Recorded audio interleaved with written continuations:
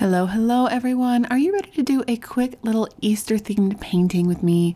This one only takes about 10 minutes, give or take drying time, and if that's all you've got, I will not waste your time. We're going to jump right in.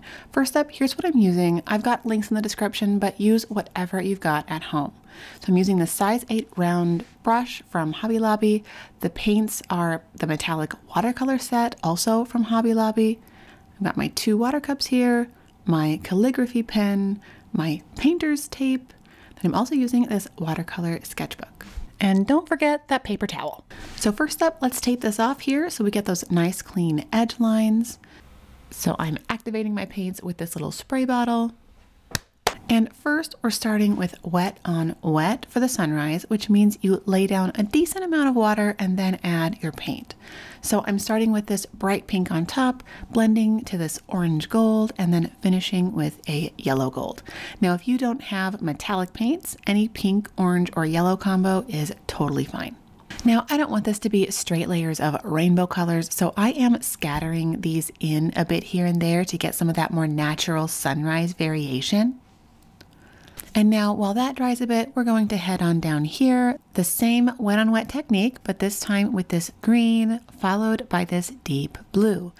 Now you notice I'm leaving a space in between the sunrise and the ground. I don't want the sky and the ground running into each other here. All right, now it's time to dab up some of that excess water. So if you notice pooling, use your brush or a paper towel to lightly dab up that extra water in both the sky and the ground.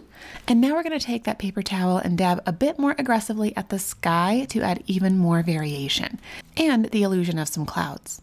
If you notice it's a bit too dry already, just wet your paper towel a little bit and dab away. Okay, so once this layer is dry, it is time to start on that empty tomb. So for this, we just take the black and mix with some water to make it a bit more of a deep gray. We start to paint an organic rock-like shape with an arched opening, no perfection here, and that extends across the page. Next, we dab again with a paper towel to add a bit of dimension to the color on that tomb.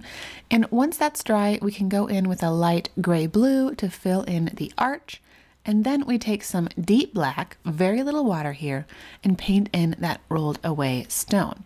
So I am spending a bit more time here along the edges to add dimension and make sure it stands out against the tomb itself. Finally, once everything is dry, we go in with that calligraphy pen. So I like to start with the script word since that's the most prominent thing on the page. So the main thing here is to keep those upstrokes thin and the downstrokes thicker. Then we add the he is and the indeed with those basic block letters.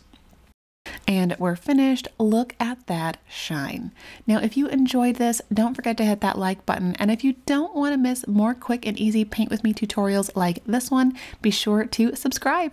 And if you want even more painting, check out this video next.